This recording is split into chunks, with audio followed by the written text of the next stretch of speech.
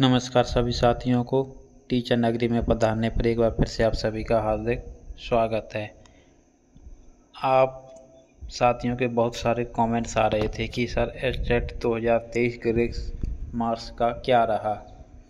मैं इस पर वीडियो तो नहीं बनाना चाहता था, लेकिन इतने सारे कमेंट्स आने के बावजूद आपको सूचना देना उचित है। देखिए, सबसे पहले तो हम बात करते हैं एस्टेट 2023 ग्रेस मार्क्स का जो कोर्ट केस था। तो कोर्ट केस की जो अगली तारीख है, वो बारह दिसंबर मिली है। तो ये तो आपको कोर्ट केस का पता चल गया। बारह दिसंबर से से आसपास या बारह दिसंबर से पहले तो दोबारा स्टेट भी हो लेगा। अब बात करते हैं गवर्नमेंट की। तो साथियों, मेरी तो उम्मीद गवर्नमेंट से बिल्कुल ख़त्म हो चुकी है।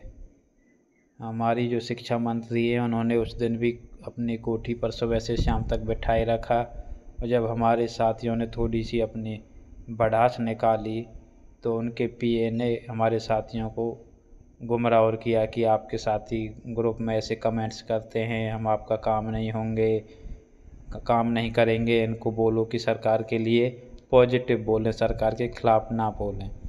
तो सरकारें, वो साथी इतने में ही ग्रुप बंद कर दिया उन्होंने बिल्कुल साफ़ तो ये सरकारें ऐसा ही करती हैं, मारती भी हैं और रोने भी नहीं देती।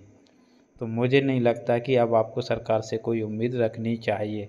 बाकी सरकार के लिए आपको क्या करना है, ये आप खुद जानते हैं बहुत अच्छे से। और कोर्ट से तो अब, कोर्ट का काम तो बहुत लंबा चलता है।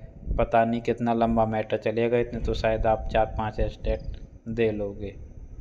तो यही सूचना थी। तो उम्मीद करता हूँ आगे से आप इस पर उम्मीद छोड़ देंगे। आप अपने नेक्स्ट स्टेट की तैयारी कीजिए।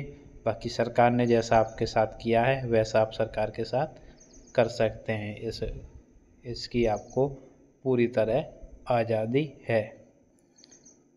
धन्यवाद साथियों। बस इतना ही कहना चाहूँगा। ज़्यादा कुछ नहीं कही, कुछ नहीं है कहने को।